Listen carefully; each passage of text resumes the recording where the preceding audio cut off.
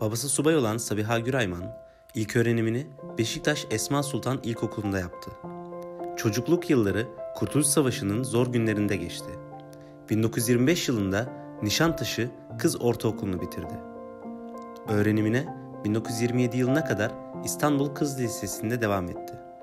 O yıl bir arkadaşının ve matematik öğretmeninin teşvikiyle son kez ortaokul öğrencisi alan Yüksek Mühendis Mektebi, bugünkü adıyla İstanbul Teknik Üniversitesi'ne girdi ve 1933 yılında bitirerek Türkiye'nin ilk kadın inşaat mühendisi oldu.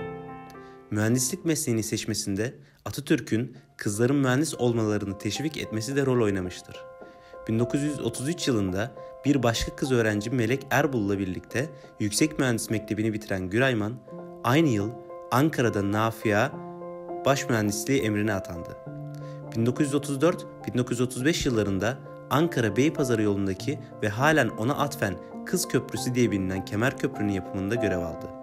Bayan olmasına karşın kendisini şantiyede kabul ettirerek işçilerle ve yöre halkı ile olumlu ilişkiler kurdu.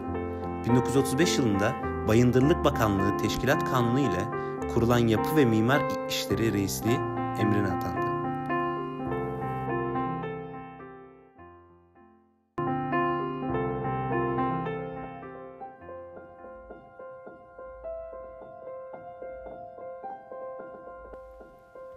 Sabiha Gürayman 1939 yılında yüksek mühendis Remzi Gürayman ile evlendi.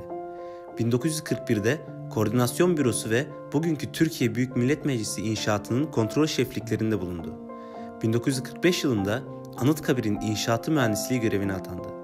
Bu göreve geldiğinde 35 yaşındaydı ve mesleğini meslek yaşantısının en önemli eseri olarak kabul etti. Bu göreve geldiğinde 35 yaşındaydı ve görevini meslek yaşantısının en önemli eseri olarak kabul etti. Yalnızca mesleğinde başarılı olmakla yetinmeyen Gürayman, aynı zamanda sosyal yaşamda da kalıcı izler bırakmış bir kişilikti. Fenerbahçe Spor Kulübü'nün de ilk bayan voleybol oyuncusudur.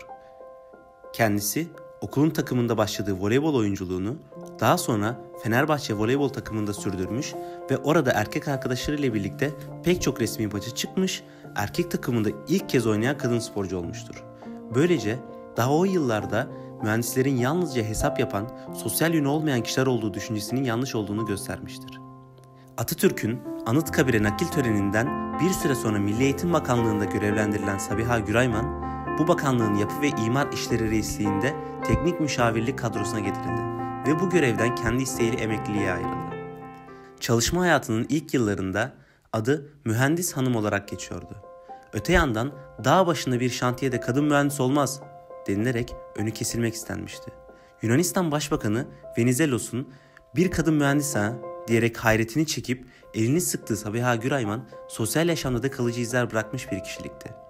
1963 yılında emekli olduktan sonra İstanbul'a yerleşen Sabiha Gürayman, eşi Remzi Gürayman'ın 1993'teki ölümünden sonra çocuğu olmadığı için İzmir'e taşınıp yeğeni Beyhan Susup'un yanına yerleşmişti. Yardımseverliğiyle tanınan Gürayman, çalışma hayatında elde ettiği tüm mal varlığını yaşarken İstanbul Teknik Üniversitesi Vakfı ile Fevzi Akkaya Temel Eğitim Vakfı'na bağışlamıştı.